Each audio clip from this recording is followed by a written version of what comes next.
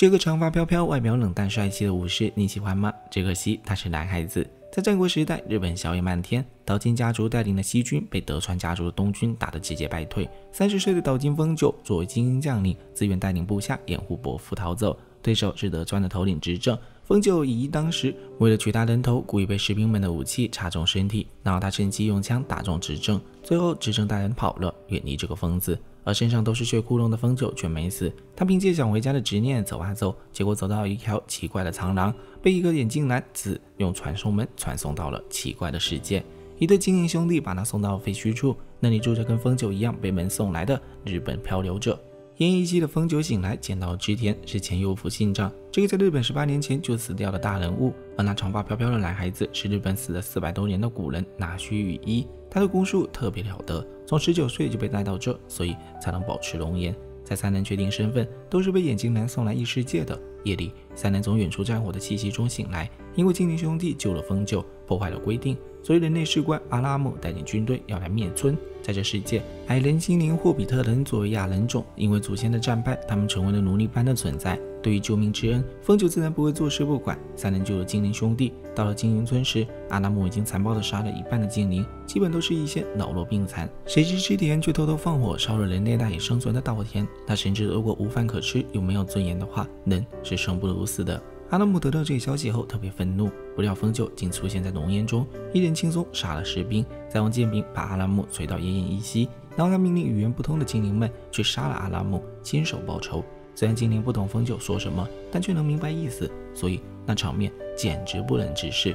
在风九说服精灵之后，送他们来的子也在报纸上看到了这个讯息。突然，他的面前出现一个看似病娇的女孩伊泽，她也是把人送去异世界的管理者。但跟子不同的是，她送去的人被称为废弃物，是经过抛弃的已死之人。但来到这个异世界，竟可以获得类似魔法的能力，所以这些人的心智都有些扭曲，想要毁掉一切。目前，这个世界的北方国境要塞卡尔阿迪斯正在面临被黑王军攻破的威胁。十月机关组织两位魔法师表示，一定要保证漂流者西壁和汉尼拔的安全撤退。这两人是古罗马时期的大人物，而黑王是废弃物的王，是杀死所有漂流者和人类的黑恶势力。他想建立一个只有怪物存在的新秩序世界，而土方圣女贞德、罗曼诺娃等人是他最厉害的部下，都是憎恶这个世界的存在，可以以一敌千。这个世界存在各种穿越者，从各个历史时期送来的善良人成为漂流者，而憎恶世界只想杀戮的人被称为废弃物。两方交战多年，而十月机关是负责聚集漂流者一起对抗废弃物的魔法师集团，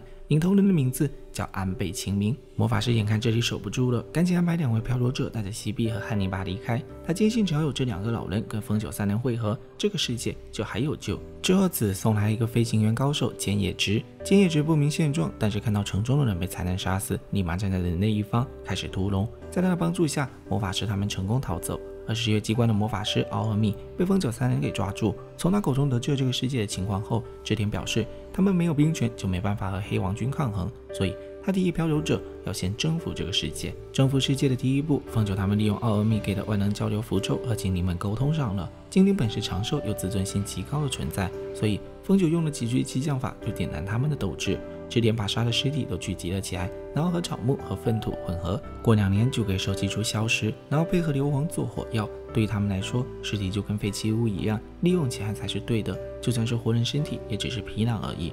两天后，上级又派了两百士兵来消灭这个精灵村。风九下令把他们全部放进来。精灵们擅长用弓，所以给每人配备一把弓。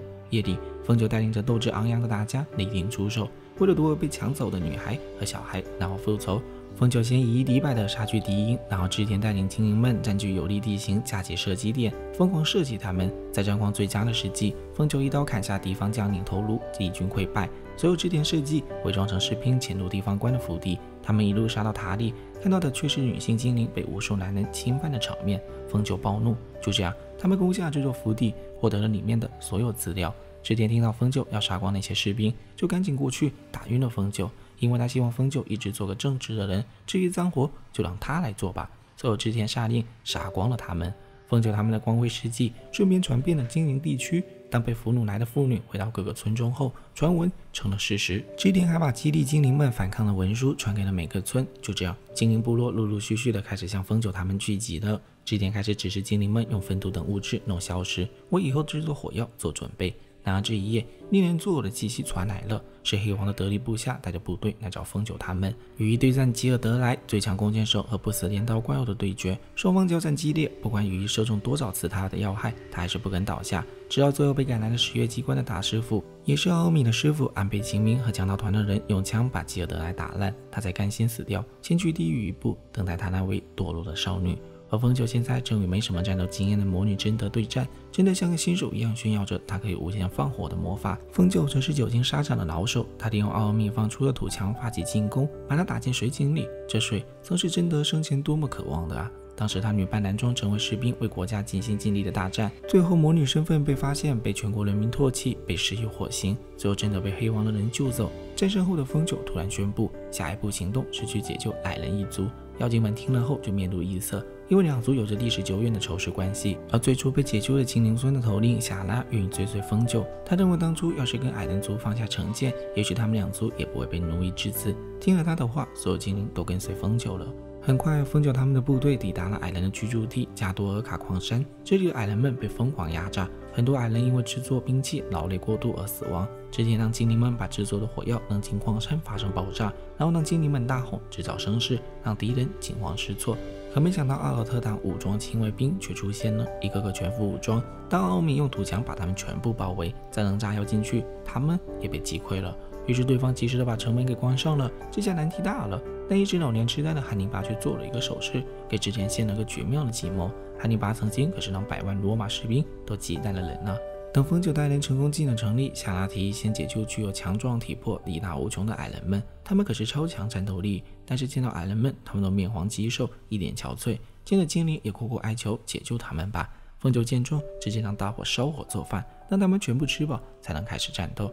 随后，风九对着城里躲起来的士兵喊：“现在我们在做饭了。”你们识相的话，自己扔掉武器逃走吧，不然等会吃饱的矮人会把你们大卸八块。面对风九的话，士兵们竟都乖乖的打开了城门。风九让将领切腹自尽，以赎罪师承之过。将领不肯，然后就被风九割了头。其他士兵仓皇逃走。羽衣看着他们的背影，本能的要去追杀，因为以前他们就是干这个事情的。但是风九说不必追了，要遵守战场的约定。面对这样正直的风九，羽翼更加信任他了。而黑王刚刚用绝对力量威压六大龙之一的青铜龙加入了他们。黑王具有让任何受伤的人痊愈的力量，也有无限增值食物和其他任何东西的力量，同时也具备让人痛苦死亡的力量。但他还是让怪物们开始学会了耕田。而织田把火枪给吃饱喝足的矮人们看，矮人们竟能轻松地做出了一样的火枪。随后，风九带年轻的矮人去锻炼身体。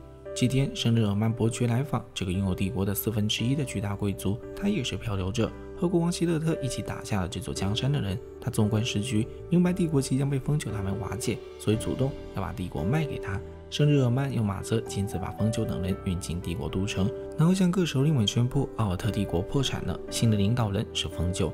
然而，在场出现了黑王的得力部下拉斯普京的替身，他得意的表示自己派了兵来，但是这些兵被风九轻而易举的杀死后，他的面子挂不住了，暴怒离开。